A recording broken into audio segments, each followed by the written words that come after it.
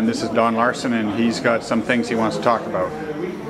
Well, I'm, I'm at the meeting tonight because um, Mar Marpole is uh, a working class community below 70th Avenue. There's still a lot of uh, relatively low rent apartments. I'm concerned that the city of Vancouver is not protecting the working class people that are left, that are doing all the hard jobs in this city. Um, we don't have a community plan here, yet very large developments are being rubber stamped by this mayor and council. And uh, that includes the Safeway project, which is too high, uh, too bulky, too much density. That's at 70th and Granville Safeway redevelopment site for high rises and high density with a little, little, little pocket park and uh, a vague promise of, of money for a library there. And so I'm, I'm also very discouraged about the um, marine landing, which is at uh, Cambie and Marine on the edge of Marpole. This is uh, 32 stories, 28 stories, 26 stories, and I think maybe 12 stories. Uh, that's at the uh, Canada substation. I understand the, the concept of density at, st at stations, but this is ridiculous. 32 stories across from existing two-story residential um, community across the street on Cambie. So there's a very quiet, orderly community there. And now they're putting up 32, 28, 26 stories.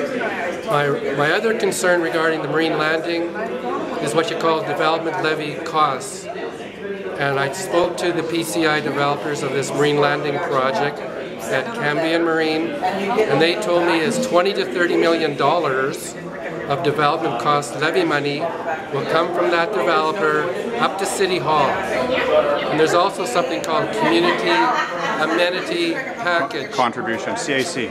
Yeah, contributions.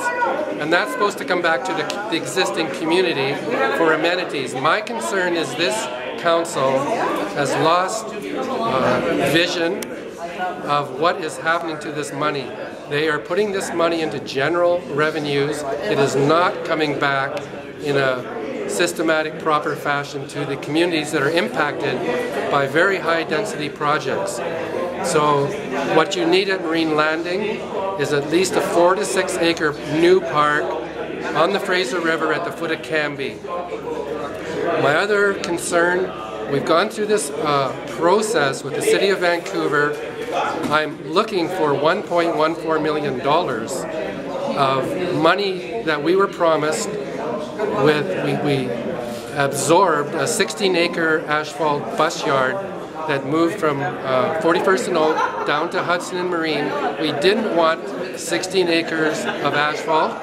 We didn't want all those buses. It got put on us anyway from TransLink and the City of Vancouver and is, as compensation, we got a little trail which we fought very, very hard for that goes nowheres uh, on the Fraser River beside TransLink bus yard and $1.14 million. On May 16th, I approached the Vancouver Parks Board. I followed it up with a letter in June to Mayor and Council.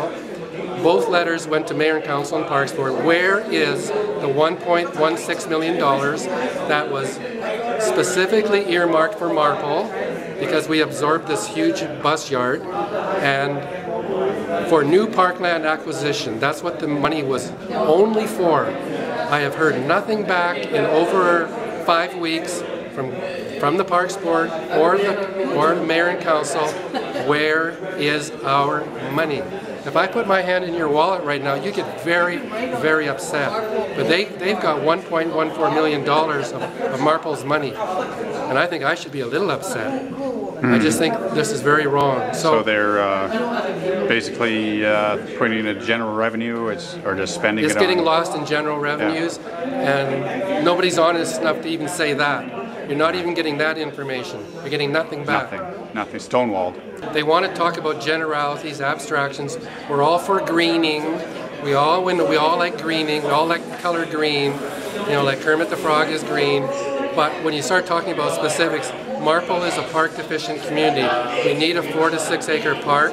We need some parkland down here at the foot of uh, Granville Street. Um, not just developments, not just huge marinas that cause uh, all kinds of pollution in the Richmond Slough at the foot of Granville Street.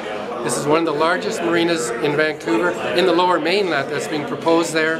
They're going to cause all kinds of pollution by the kind of dredging they do. They're going to dump all this toxic sediments, tremendous amounts of bargefuls of toxic, toxic sediments from the mills that were there out in the mouth of the Fraser River, out there where Wreck Beach is. They're putting in cancerous chemicals, and they don't care.